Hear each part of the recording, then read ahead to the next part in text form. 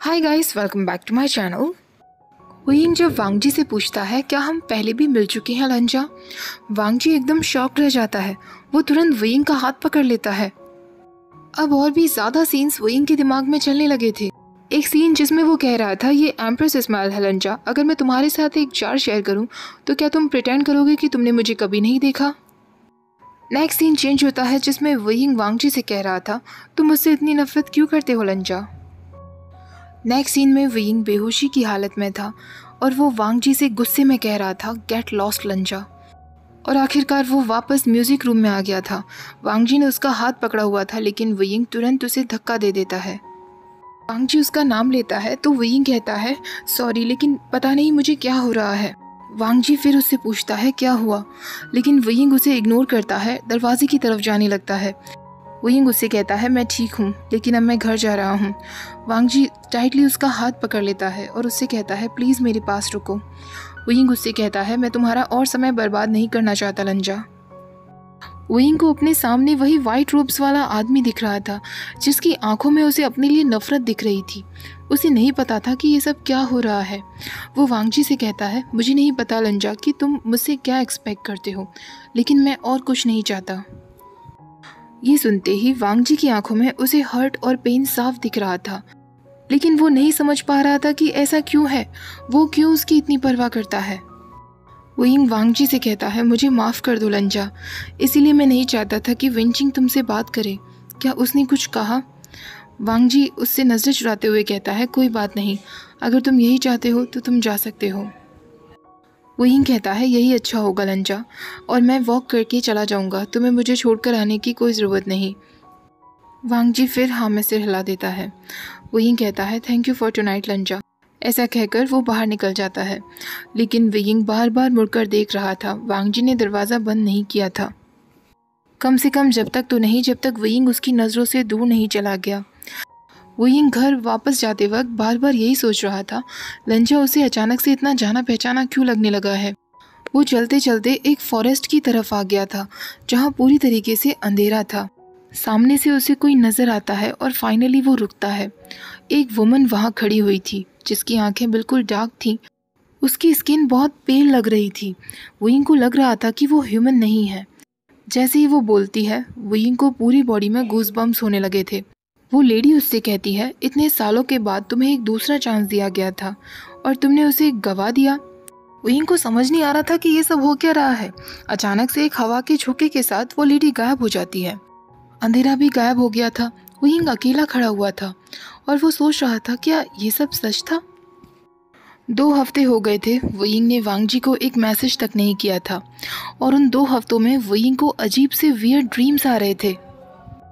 Wooing school class में बैठा हुआ था कि तभी सिजू उसके पास आता है। वोइंग को याद आता है कि उसने दो हफ़्ते से लंजा से बात नहीं की है। और वो सिजू से कहता है सिजवी क्या तुम्हारे डैड पेरेंट्स इवनिंग में आने वाले हैं? सिजवी कहता है यस टीचर वे वोइंग हेजिटेट करते हुए पूछता है, वो कैसे हैं? सिजवी कहता है, हमेशा की तरह क्वाइट हैं. वोइंग स्माइल करते हुए कहता है, वो तुमसे भी बात नहीं करते. सिजवी कहता है, वो हमेशा से ऐसे ही रहे हैं टीचर वे लेकिन वो बेस्ट फादर हैं. वहीं हँसते हुए कहता है, तुम भी तो बहुत अच्छे सन हो. सुजी ब्लश करने लगता है। अब उनकी पेरेंट्स इवनिंग की शुरुआत होती है। पहले लान चरान जेंगे के मार्क्स लेने के लिए आया था। उसके बाद अब जंगछा की बारी थी। वहीं को पहले से ही हेडक होने लगा था। उसे पता था जंगछा नॉर्मल तरीके से तो उससे बात नहीं करने वाला। जंगझा आते ही उससे कहता है, तुम अपनी जॉब ठीक से नहीं कर सकते। जिनलिंग को स्टूडेंट्स बुली कर रहे हैं, क्या तुम्हारा उस तरफ़ कुछ ध्यान भी है? कुछ दिनों पहले जिनलिंग को लाइब्रेरी के पास स्टूडेंट्स मार रहे थे। वो ये कहता है, मुझे आज ही इस बारे में पता चला है। मैं इस बात पर ध्यान दूँगा और उन स्टूडेंट्स को सबक सिखाऊँगा। चेंगझा उसे कहता है, तुम कुछ भी नहीं कर सकते, तुम यूजलेस हो। वो ये कहता है, बहुत हो रहा है अब जंगशाह क्या तुम ये सब कहने के लिए यहाँ आए थे? वो दोनों फिर लड़ने लगते हैं। जिलिंग उनसे कहता है, अंकल, क्या आप दोनों प्लीज़ कुछ समय के लिए शांत नहीं रह सकते? काश मेरे डैड यहाँ होते। जिलिंग गुस्से में वहाँ से चला जाता है। और वहीं जंगशा से भी कहता है जंगशा प्लीज़ यहाँ से चले जाओ। जंगशा गुस्से में वहाँ से दरवाजे को ज़ोर से मारते हुए चिल्लिंग के पीछे चला जाता है। एक बार फिर विंग बहुत हर्ट था और सडनली क्लासरूम के डोर पर नॉक होता है और वांग जी अंदर आता है। विंग उसे देखकर कहता है मिस्टर लैन, हमेशा आप बैड टाइमिंग पर ही क्यों होते हैं? लेकिन वांग जी उससे कुछ नहीं कहता। वो विंग के सामने वाली सीट पर जाकर बैठ जाता है। विंग उससे पूछता है, आप सिजू के ग्रिड्स लेने के लिए आए हैं ना? वांग जी फिर कुछ नहीं कहता और हाँ में सिर हिला देता है। विंग कहता है, हमेशा की तरह आपका सन इस बार भी परफेक्ट है। Perfect grades perfect behaviour suddenly Wang Ji उससे पूछता है, तुम कैसे हो? विंग कहता है, थक चुका हूँ मैं, लंजा। क्या तुम प्लीज़ ऐसे प्रटेंड करोगे कि तुमने मेरी और जंगशा की बातें नहीं सुनी? तुम आखिरकार मेरी इतनी परवाह क्यों करते हो? विंग मन में सोचने लगता है, आखिरकार उसे मुझसे क्या चाहिए? क्या वो मुझसे सेक्स चाहता है? ऐसा सोचकर विंग तुरंत अपनी सीट से खड़ा हो जाता है। वो वांग जी के पास जाता है और उसके कॉलर को पकड़ के अपनी तरफ़ खींचता है। वो उसके बहुत नज़दीक था और वो वांग जी से कहता है, ये सिर्फ़ अट्रैक्शन तो नहीं हो सकता ना मिस्टर लैन आपको मुझसे क्या चाहिए? विंग मन में सोच रहा था, अगर मैं अभी उन्हें किस कर लेता हूँ तो क्या उन्हें वो मिल जाएगा जो उन्हें मुझसे चाहिए? ऐसा सोचकर वो वांग जी के शर्ट के अंदर अपना हाथ ले जाता है और उसकी चेस्ट पर फहराने लगता है। वो तुरंत उसकी टाई को पकड़कर नीचे खींचता है, जिससे वांग जी के लिप्स उसके लिप्स के नज़दीक हों, क्योंकि वांग जी उससे काफ़ी लंबा था। तभी वांग जी वहीं का हाथ टाइटली पकड़ लेता है और उससे कहता है, मैं बस चाहता हूँ कि तुम खुश रहो। वुइंग ने तुरंत वांगजी की टाई को छोड़ दिया था। वो फिर से मन में सोचने लगता है, लंजा की आँखों में क्लियर डिज़ायर दिख रहा है मेरे लिए। लेकिन वो चाहता है कि मैं खुश रहूँ। अभी भी उसे समझना मेरे लिए इतना इम्पॉसिबल क्यों है? वही वांग जी को छोड़ देता है और उससे कहता है, तुम्हें मेरी परवाह क्यों है? स्कूल रूम फिर से चेंज हो जाता है और वही को एक सीन दिखता है जिसमें वो वांग जी से कह रहा था, मैं अपने टेम्परमेंट को अच्छे से जानता हूँ, दूसरे लोगों को परवाह करने की ज़रूरत नहीं है। वांग जी गुस्से में उससे कहता है वे वुशियन वो यिंग ब्लिंक करता है और फिर से वो सीन गायब हो गया था। वो वापस से क्लासरूम में था। वांग जी उसके शोल्डर्स पर हाथ रखता है और उससे पूछता है, क्या हुआ वयिंग वयिंग कहना चाहता था, मुझे नहीं पता, मुझे नहीं पता ये मेरे साथ क्या हो रहा है। लेकिन वांग जी का टच उसे अच्छा लग रहा था। वो वांग जी से कहता है, लंजा, मैंने अपने एडॉप्टेड पेरेंट्स की जान ली थी। मैंने जंगछा की सिस्टर मेरी शिजी को भी ऑलमोस्ट मार ही दिया था। मेरी वजह से वो दस साल से कोमा में हैं। वो अमेरिका के एक हॉस्पिटल में हैं। क्या तुम अभी भी मेरे बारे में और जानना चाहते हो, लंजा? क्या मैं तुम्हारी सिंपैथी डिज़र्व करता हूँ? अब वांग जी ने वयिंग के दोनों शोल्डर्स को टाइटली पकड़ लिया था। वो उसकी तरफ़ बढ़कर उससे कुछ पूछने ही वाला था कि तभी डोर पर नॉक होता है। लैंड चिरन वहाँ आ गया था। और वो कहता है टीचर वे क्या मैं जिंगे के बारे में आपसे कुछ बात कर सकता हूँ? वहीं को इस वक्त बहुत गुस्सा आ रहा था, लेकिन वो वांगजी को वहाँ से जाने के लिए कह देता है। अगले दिन वांगजी जब अपने घर जा रहा था तो उसका सामना वेंचिंग से होता है। वेंचिंग उससे कहती है, मिस्टर लान, मुझे वेइंग को लेकर आपसे कुछ बातें करनी है। क्या हम कैफ़े चल सकते हैं? वांगजी उसके साथ जाने के लिए तैयार हो जाता है। दोनों कैफ़े में बैठे होते हैं तो वेंचिंग उससे पूछती है, क्या वो अब आपसे बात करता है? वांगजी कहता है, नहीं, वो नहीं चाहता कि हमारे बीच कुछ भी हो। पेंचिंग कहती है, मुझे उसकी बहुत चिंता हो रही है। आजकल वो रातों को ठीक से नहीं सो पाता है। क्या आपकी डिनर डेट के दौरान उसके साथ कुछ हुआ था?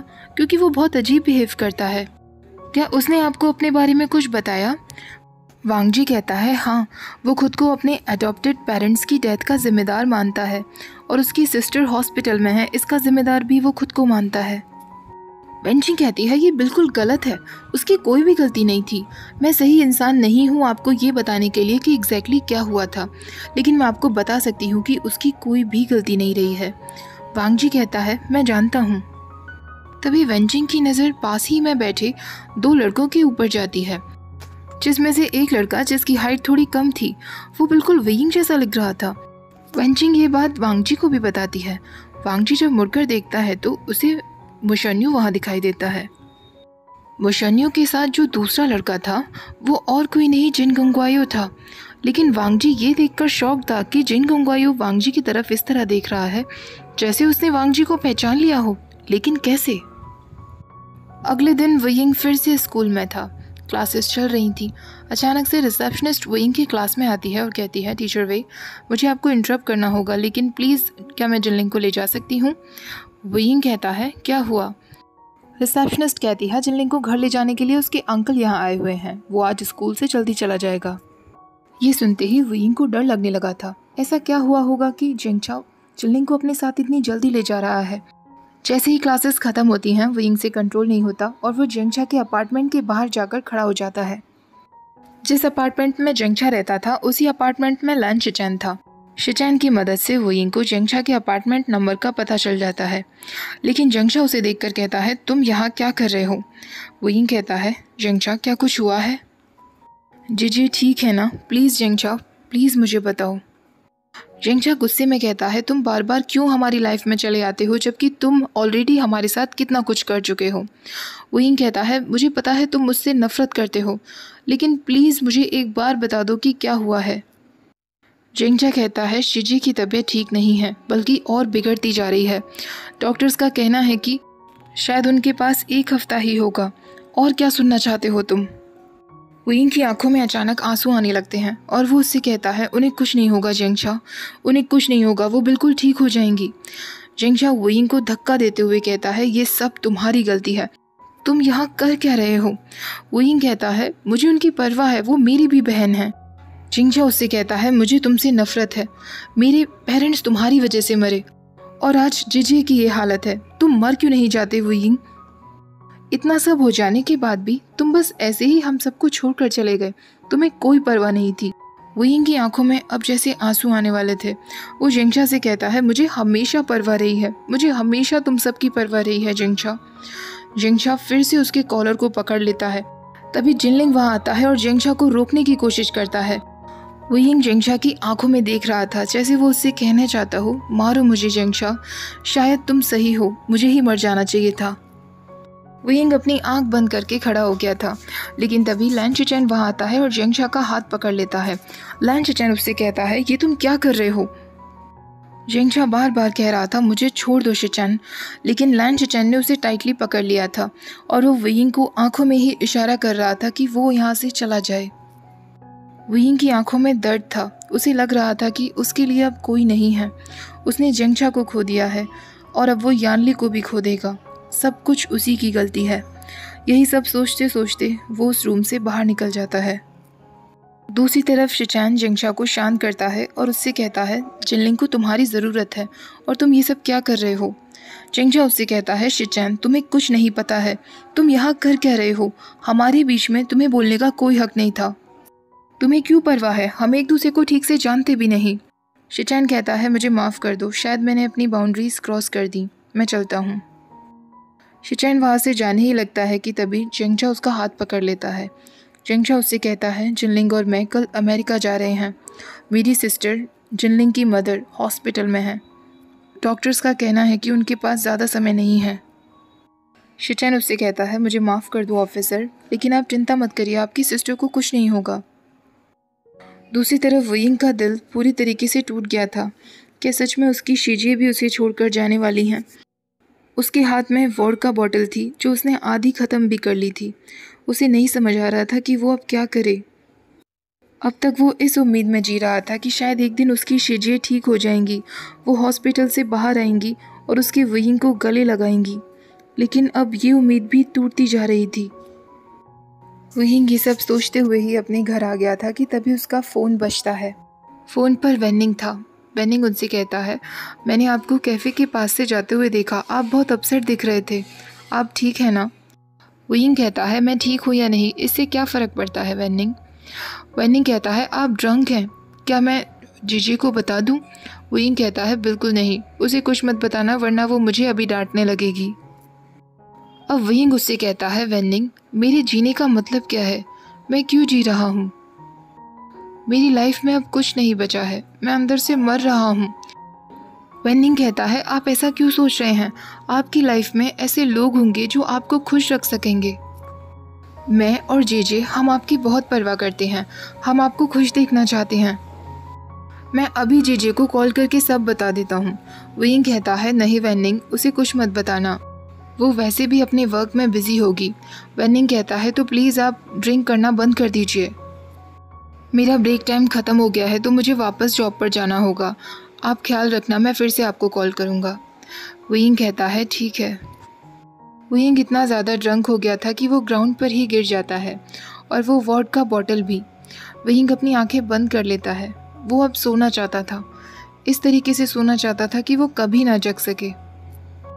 वो खुद को बहुत यूज़लेस फील कर रहा था। तभी उसे जेंगछा की बातें याद आती हैं। मुझे तुमसे नफरत है वोइंग तुम्हें मर जाना चाहिए था। विंग सोचने लगता है, अगर मैं कहीं चला जाऊँ और कभी वापस ना आऊँ, क्या फिर जीजी ठीक हो जाएँगी? क्या वो खुश रहेंगी? क्या सब लोग खुश रहेंगे? वोइंग खुद को संभालता है, कैसे भी नशे में उठने की कोशिश करता है। वो अपने रूम की तरफ़ जा ही रहा होता है कि तभी कोई उसे आवाज़ देता है। वोइंग वोइंग के आसपास सब कुछ ऐसे घूमने लगता है। वो फिर से बेहोश होकर गिरने ही वाला होता है कि तभी कोई उसे गोद में पकड़ लेता है। वो वांग जी था। वांग जी उसे गोद में उठाकर अपने घर ले आया था। वोइंग बेहोशी की हालत में भी इतना दर्द में दिख रहा था कि वांग जी तुरंत उसे गले से लगा लेता है। जैसे ही सिजवी देखता है कि वांगजी ने वोइंग को कैरी किया हुआ था सिजवी कहता है, डैड, टीचर वे को क्या हुआ? क्या वो ठीक है? वांगजी कहता है, वो ठीक हो जाएगा। सिजवी कहता है डैड क्या मैं उनके लिए कुछ बना दूँ? उनकी तबीयत कुछ ठीक नहीं लग रही। वांगजी कहता है, मैं उसका ख्याल रख लूँगा सिजवी, तुम अपने रूम में जाओ। वांगजी वयिंग को कैरी करता है और अपने बेडरूम में ले जाता है। वयिंग अभी भी अनकॉन्शियस था और उसका एक हाथ वांगजी की शर्ट पर था, जो उसने टाइटली पकड़ लिया था। वांगजी वयिंग को अपने बेड पर लिटाता है। एक सेकंड के लिए भी उसने अपनी नज़रें वयिंग से नहीं हटाई थी। जब शिचैन ने उसे कॉल करके बताया था कि वयिंग की फिर से लड़ाई हुई है जंगशा के साथ। वांगजी समझ गया था कि वयिंग बहुत दर्द में होगा। वांगजी वयिंग के पास वहीं बैठ जाता है और वो वयिंग की ब्रीदिंग की आवाज़ों को ही सुन रहा था। कुछ समय ऐसे ही बीत जाता है और वयिंग धीरे धीरे अपनी आँखें खोलता है। वो बहुत देर तक तो रूम को ही देखता रहता है और वो वांगजी की तरफ़ देखते हुए कहता है, लंजा, मैं कहाँ हूँ? वांगजी उससे कहता है, मेरे घर। वयिंग उससे कहता है, तुम्हारे घर? तुम मुझे अपने घर लेकर आए हो और तुम्हारे बेड पर? वांग जी को नहीं समझ आ रहा था कि विंग ने ऐसा क्यों कहा। विंग अचानक से हंसने लगता है और वो अपने हाथ वांग जी के नेक में डाल देता है। विंग तुरंत उसे अपने नज़दीक खींच लेता है और उसे किस करने लगता है।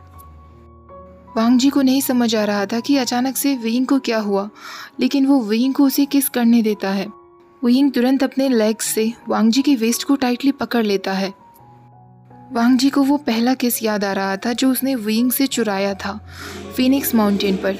वो किस बहुत स्वीट था, लेकिन आज विंग का किस बिल्कुल बिटर था, जिसमें अल्कोहल का टेस्ट था। अब विंग तुरंत वांगजी के शर्ट के बटन को खोलने लगता है। वो अपना हाथ वांगजी की चेस्ट पर हर जगह फहराने लगता है, लेकिन वांगजी को ये सब कुछ अजीब लग रहा था। ये सब वैसा नहीं था जैसा होना चाहिए था। वो तुरंत विंग का हाथ टाइटली पकड़ लेता है और उससे कहता है, नहीं वियिंग। वियिंग तुरंत वांगजी की शर्ट को शोल्डर से नीचे गिरा देता है और उसके बालों को पकड़ के फिर उसे अपनी तरफ़ खींचता है और उससे कहता है, क्यों लंजा? अब मुझे कोई फ़र्क नहीं पड़ता। प्लीज़ मुझे यूज़ करो। मैं तुम्हारे साथ सेक्स करना चाहता हूँ। वांग जी ने कितनी बार अपने सपनों में वियिंग को इस तरह इमेजिन किया था, लेकिन ये सब कुछ उसे गलत लग रहा था। वो फिर उसका हाथ पकड़ते हुए कहता है, नहीं। विंग अपने लेग्स और भी टाइटली उसके वेस्ट पर पकड़ लेता है और उससे कहता है, क्यों? तुम यही सब तो चाहते थे ना, लंचा। तुम मेरे साथ सोना चाहते थे ना? तो प्लीज़ आज मुझे यूज़ करो। मेरी ज़िंदगी में वैसे भी अब कुछ नहीं बचा है। विंग की हर एक बात से वांगजी को समझ आ रहा था कि वो कितना दर्द में है। वांगजी उससे कहता है, तुम ड्रंक हो विंग विंग कहता है, इससे क्या फ़र्क पड़ता है? तुम बस मुझे चाहते हो ना? ये बात वांगजी को सीधा दिल पर चुपती है। वो वियिंग को चाहता था हमेशा से, लेकिन इस तरह नहीं। वो वियिंग से कहता है, वियिंग, तुम बेटर डिज़र्व करते हो। अचानक से वियिंग की आँखों से आँसू आने लगते हैं, और वो उससे कहता है, नहीं लंजा, नहीं, मैं बिल्कुल भी बेटर डिज़र्व नहीं करता। वांगजी उसके आंसुओं को पहुँचने लगता है। विंग उससे कहता है, तुम मेरी इतनी परवाह क्यों करते हो? वांगजी मन में सोच रहा था, क्योंकि मैं तुमसे प्यार करता हूँ। हमेशा शुरुआत से सिर्फ़ और सिर्फ़ तुमसे प्यार करता आया हूँ। पहले ही दिन से जब तुम मेरी लाइफ में आए थे, मैंने सिर्फ़ तुम्हें अपना सब कुछ मान लिया था। मैं चाहता हूँ कि तुम खुश रहो, सेफ़ रहो। वांग जी ये सारी बातें अभी की अभी वहीं को बता देना चाहता था। अपना दिल उसके लिए खोल कर रख देना चाहता था। और उसे ये विश्वास दिलाना चाहता था कि वो भी प्यार डिज़र्व करता है। लेकिन वांग जी ये कुछ नहीं कह पाता। क्योंकि वो खुद को एक कावर्ड समझ रहा था। वो विंग को गले से लगा लेता है। वांग जी ने उसे टाइटली पकड़ा हुआ था। विंग बस रोए जा रहा था। विंग उससे कहता है, मैं क्या करूँ लंजा? मैं क्या करूँ? मैंने सब कुछ बर्बाद कर दिया। मैं ये कभी भी नहीं चाहता था। ओके okay गाइस आज का पार्ट यहीं ख़त्म करते हैं। वीडियो पसंद आया हो तो लाइक शेयर चैनल को सब्सक्राइब करना नहीं भूलिएगा। Thank you for watching bye bye